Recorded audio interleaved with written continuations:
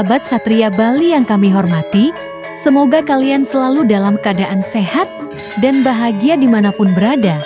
Kali ini tim Satria Bali akan mempersembahkan tayangan dari makna dan tradisi ngelawar dalam masyarakat Hindu di Bali khususnya. Tradisi ngelawar erat sekali dengan berbagai perayaan masyarakat Bali yang melibatkan berbagai strata sosial untuk berkumpul bersama teman dan keluarga, termasuk salah satunya adalah perayaan perkawinan yang kami liput kali ini.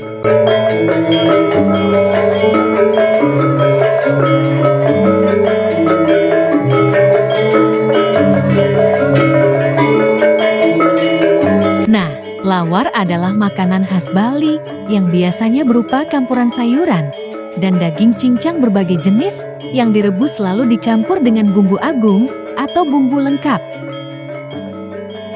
Makna ngelawat lebih dalam dari sekadar berkumpul bersama teman dan keluarga, tapi juga bermakna kedekatan, kebersamaan, dan kesetaraan antar manusia yang berpartisipasi di dalam tradisi ngelawar. Tradisi ngelawar ternyata sudah ada sejak zaman kerajaan Bali. Selain terbuat dari sayuran dan daging serta kulit hewan yang direbus dan diberi bumbu lengkap, lawar juga biasanya disertai dengan aneka sate, balung, dan daging lainnya.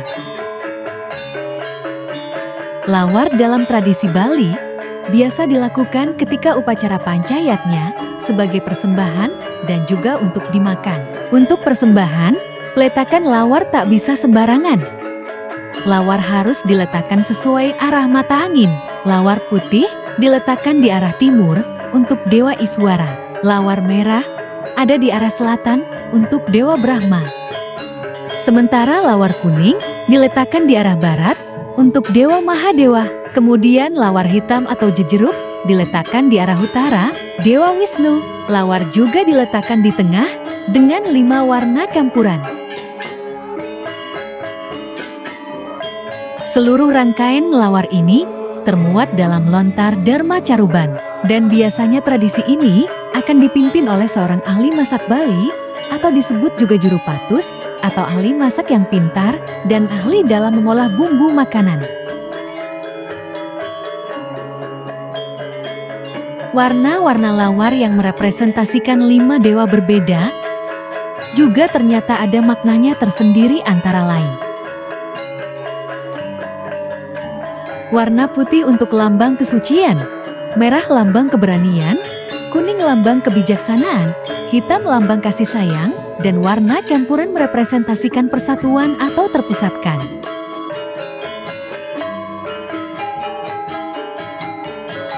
Lawar yang terbuat dari campuran daging dan sayuran ini tak hanya dibumbui secara biasa tapi harus diberi bumbu khas Bali. Selain dari elemen yang wajib ada di setiap upacara keagamaan, lawar juga bisa dengan mudah ditemukan dalam pura dan rumah masyarakat Bali. Juga di acara-acara semacam pernikahan, potong gigi, upacara kematian, dan lainnya. Untuk itu, tradisi ngelawar tak bisa terpisahkan dari masyarakat Hindu di Bali khususnya.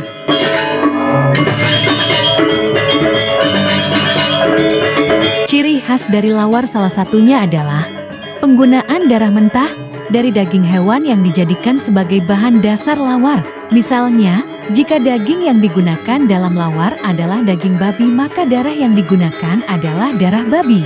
Begitu pula yang berlaku pada penggunaan daging lainnya. Yeah.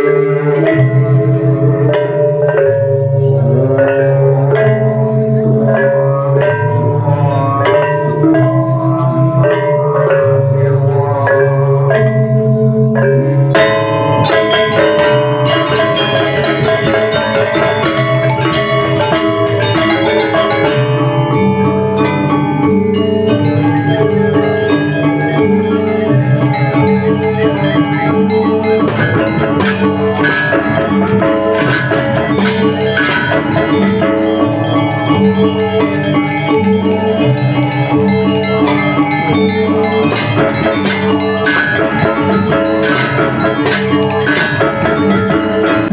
demikian sekilas tentang makna dan tradisi melawar dalam masyarakat Hindu di Bali khususnya. Semoga tayangan kami dapat memberikan manfaat dan pengetahuan tentang tradisi tersebut untuk dijaga dan dilestarikan hingga ke generasi berikutnya. Akhir kata tak lupa kami mengucapkan terima kasih.